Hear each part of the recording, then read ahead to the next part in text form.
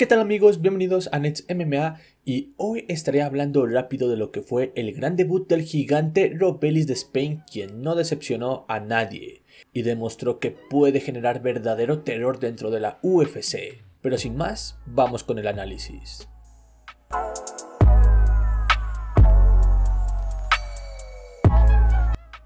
En el primer asalto, Robelis mostrando su background en Taekwondo comienza con una guardia baja que le ayuda a sus fugaces golpes, donde lanza el volado y luego un uppercut que falla, y aquí se nota rápidamente que su oponente, Josh Parisian, no buscaba el intercambio sino el contragolpe, el error de The Spain, que sucedería después de resbalar tras tirar la high kick, y es aquí cuando Parisian va hacia adelante persiguiendo al cubano.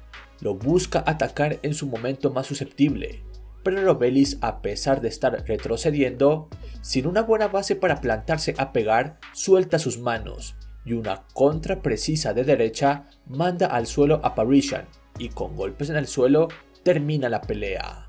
Un contragolpe increíble y más por el tremendo poder de Robelis, quien a pesar de ir hacia atrás y sin buenas condiciones para plantar golpes de mucho poder, pudo terminar con Parisian en apenas 18 segundos, una locura.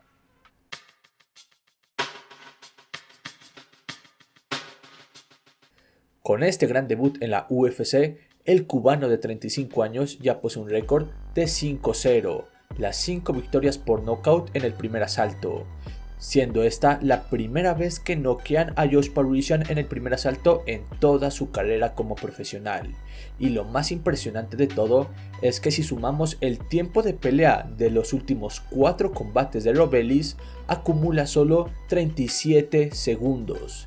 En solo ese tiempo noqueó a 4 personas. No hay duda de que Robelis de Spank será una pesadilla en los pesos pesados de la UFC. Y bueno amigos, hasta aquí el video, espero les haya gustado, pueden suscribirse, darle like. Y sin más esto fue Nets MMA y ahí se ven.